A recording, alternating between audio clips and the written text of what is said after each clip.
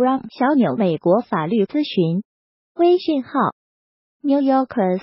这段时间，富豪爸妈花钱送孩子上名校的事件余波不断，美国媒体各种深挖报道角度。因为这几年中国留学生人数一直蝉联冠军榜首，正所谓树大招风，也不幸躺枪被媒体盯上。立即有美国媒体报道，美国的大学备考教育中介在中国留学中介面前，简直就是小巫见大巫。论包装人才、优化履历，中国留学机构才是六百六十六啊！论在教育事业上舍得投资，还得是中国爸妈啊！零幺，中国留学生爸妈都是有钱人儿，上哪个学校都没定。开学时间还早，光花钱请中介帮忙申请大学的费用就已经是一笔不小的支出了。中介帮我润色了文书，改了语法结构、不恰当用词等等，还帮我筛选出有利于申请的课外活动、个人经历。我的大学同学，只要是中国留学生，几乎都是通过留学中介申请美国大学的。中国留学生口述。上面这位接受采访的中国留学生向媒体透露，自己父母花了九万美金找中介为 TA 进行包装，中介向自己保证会收到来自全美排名前六十大学的三至五份录取通知书。虽然服务价格不菲，但如果交了钱，就真能进入美国名校。听上去的确十分诱人吧？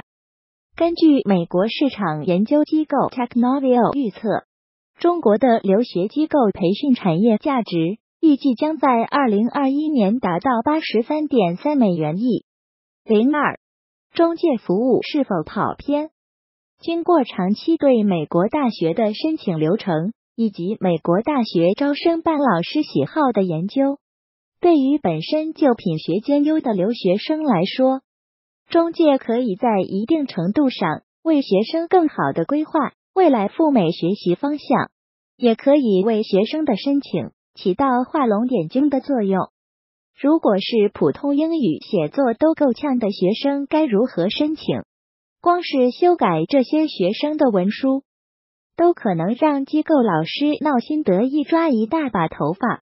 那么问题来了，到底谁来写这些学生的文书？适当的点拨和建议未尝不可，但是某些机构老师直接为学生操刀，甚至直接编造个人经历去迎合美国大学的入学要求。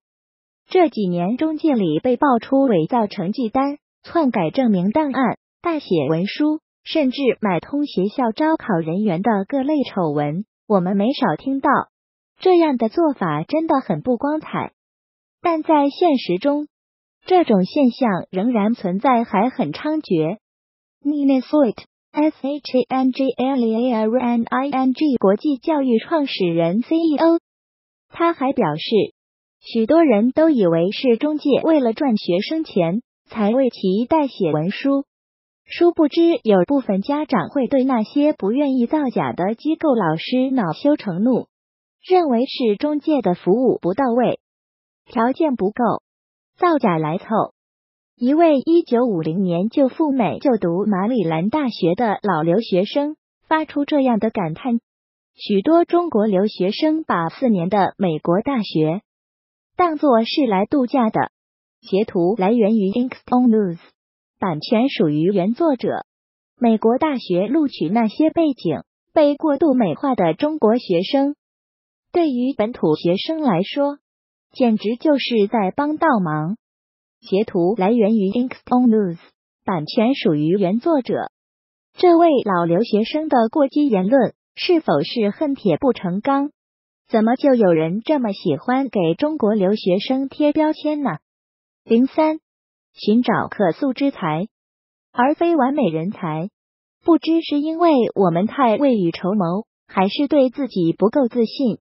其实，美国名校的标准其实并没有许多学生和家长眼中那么的高不可攀。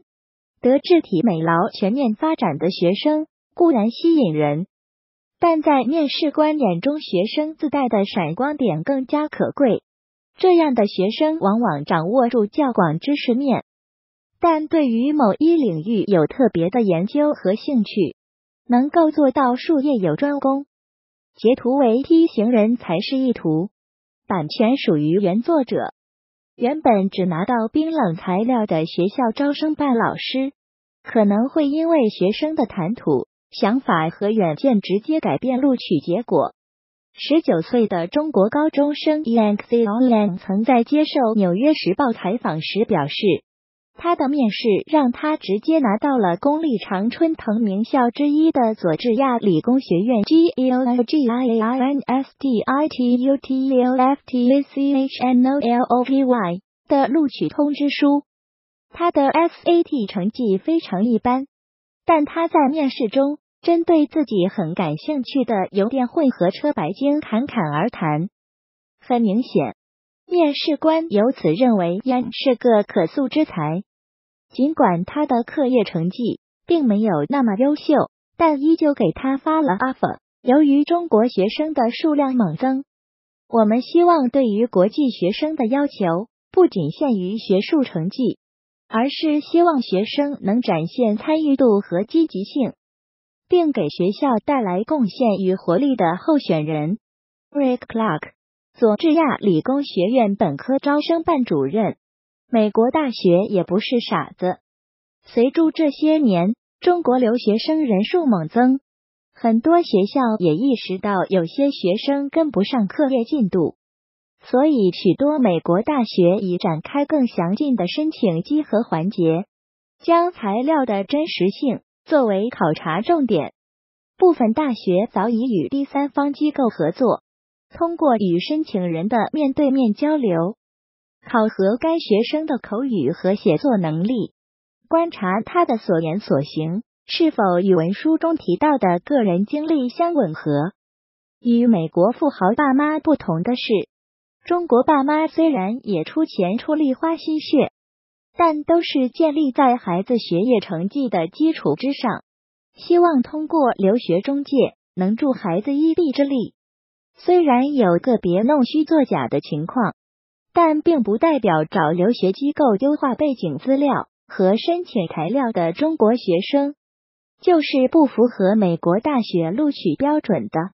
这两件事可不能混为一谈。看完了今天的文章，美国爸妈和中国父母都为了孩子的入学问题操碎了心。你对于中国父母花大价钱？使用中介服务怎么看？欢迎在文末给我们留言互动，发表你的看法。本文系授权释出。Business from 小纽美国法律咨询，微信号 New Yorkers，欢迎朋友圈。未经许可不得转载。新兴国际诚意推荐。本期推荐阅读，微信后台回复五 B 阅读文章。一点六八亿，美国史上最大招生舞弊，涉及 SAT、ACT 管理层、耶鲁、斯坦福等八所名校。微信公众号又双若卓改版了，为了让大家第一时间看到优质的海外内容，千万千万千万记得星标或置顶新兴国际。